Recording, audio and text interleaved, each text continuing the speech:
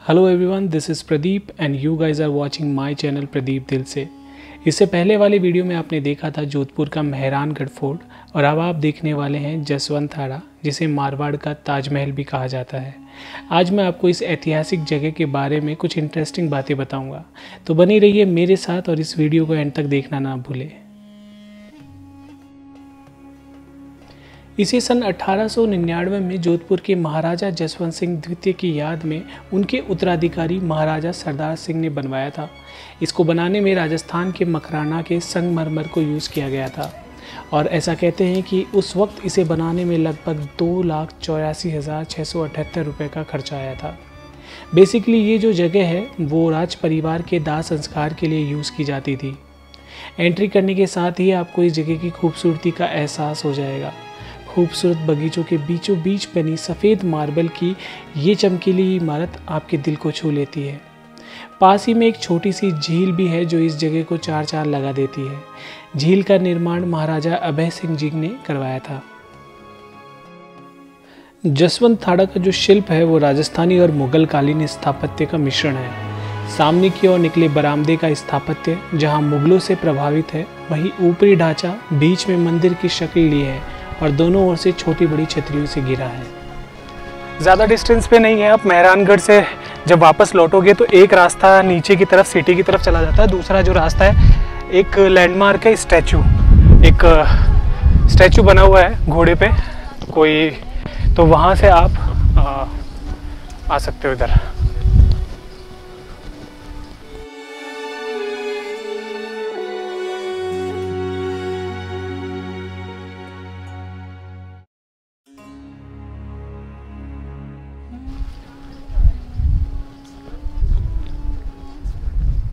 One two three ये है जसवंत थाड़ा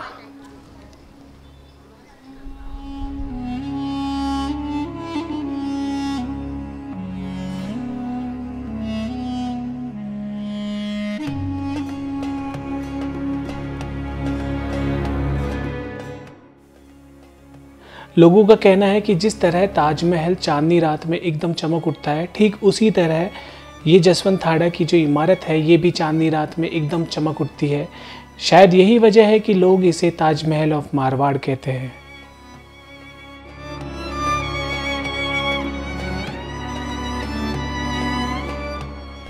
Please remove your shoes here so हमारे शूज़ रिमूव करते हैं।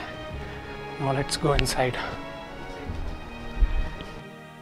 जब आप एंटर करेंगे तो आपको एक बड़ा हॉल दिखाई देगा। उसके दो हिस्से हैं। एक हिस्से में आपको जो जोधपुर के जो नरेश थे, जो राजा थे, उनकी फ़ोटोग्राफ्स और उनके बारे में डिटेल्स मिलेगी। वहीं दूसरी तरफ़ आपको राजा जसवंत सिंह जी की समाधि देखने को मिलेगी। तो इस तरीके से जसवंत थाड़ा पूरा विज़िट करने के बाद अब मैं निकलने वाला हूँ अपने नेक्स्ट जगह की ओर, जिसका नाम है उम्मीद पैलेस जोधपुर की शान उम्मीद पैलेस। तो आइए जानते हैं कुछ खास बातें उम्मीद भवन के बारे में।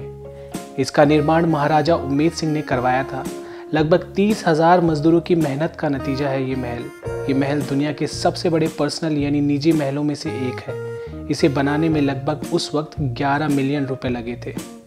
इस महल के फ़िलहाल तीन हिस्से हैं। एक हिस्सा होटल में बदल दिया गया है। दूसरा राज परिवार के निवास स्थान के तौर पर यूज़ लिया जाता है।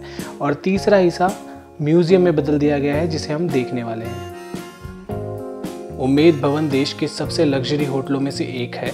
उम्मेद भवन पैलेस अपनी लग्जरी स्ट्रक्चर के लिए फ़ेमस है, इसलिए यहाँ एक रात ठहरने का किराया भी लाखों में है।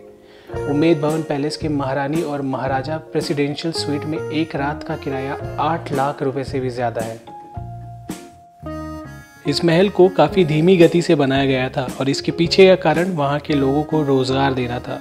इस उमेद भवन पैलेस को बनाने के लिए डिज़ाइन का काम आर्किटेक्ट हेनरी वॉन लेंचेस्टर को सौंपा गया था।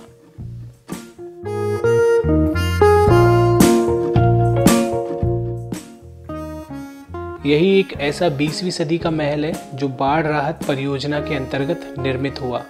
महल को तराशे गए बलुआ पत्थरों को जोड़कर बनाया गया था। महल के निर्माण के दौरान पत्थरों को बांधने के लिए मसाले का उपयोग नहीं किया गया था। यह विशेषता बड़ी संख्या में पर्यटकों को इस महल की ओर आकर्षित करती है। तो चलिए, सबसे पहले हम एंटर करेंगे म्यूज़ियम के अंदर और म्यूज़ियम में जाकर इसका जो बेशकीमती ख़जाना है, उसको देखते हैं।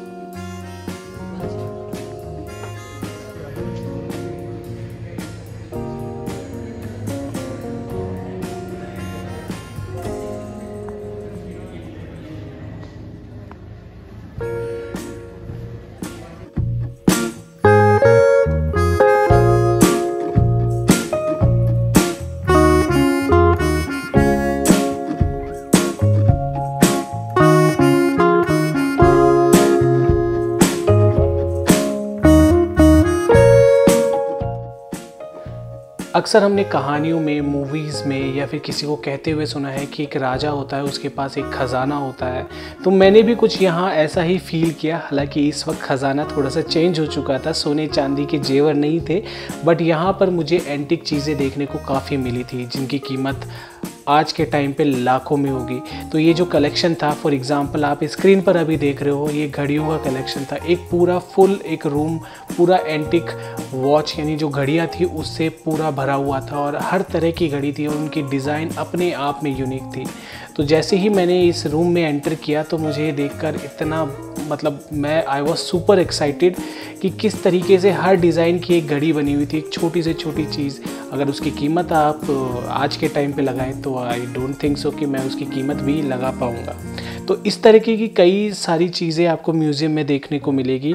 कांच के बर्तन, चीनी मिट्टी के बर्तन, उस वक्त राजा रानी के जो पर्सनल यूज़ में जो चीज़ें ली जाती थी, जैसे परफ्यूम की बॉटल हो गई या डाइनिंग एरिया हो गया या फिर जो डेकोरेशन के लिए यूज़ किए जाते थे, रानी किस तरीके से अपने लिए जो पर्सनल जैसे मिरर होता था, वो यूज़ करती थी। तो इन सारी चीज़ें आपको वहाँ पर ज़रूर देखने को मिलेगी और आपको बहुत मज़ा आएगा, क्योंकि जब आप एक इतिहास से रूबरू होते हैं तो एक अलग एक्सपीरियंस आपको देखने को मिलता था। हालाँकि एक चीज़ मैं कह सकता हूँ, इस चीज़, ये सारा ख़जाना देखने के बाद ये चीज़ आप अंदाज़ा लगा सकते हो कि उस ज़माने में भी पैसा बोलता था। और आज तो आप जानते ही हो, आज भी पैसा बोलता है। तो ये चीज़ सिमिलरिटी मुझे लगी कि पैसा है तो सब कुछ है, बाकी तो आप जानते है। हकीकत है ये।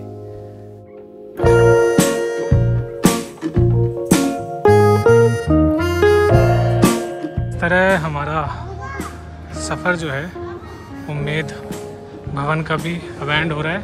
उम्मीद भवन में सिर्फ़ म्यूज़ियम है और यहाँ के जो रॉयल फैमिली थी, उससे रिलेटेड जो भी स्टफ़ है लाइक उनका डाइनिंग उनका पोलो से रिलेटेड तो म्यूज़ियम में यहाँ रखे हुए हैं। You can get an idea also जो पेंटिंग्स है रूम्स हैं, उनके बारे में भी आपको डिटेल मिल जाएगी।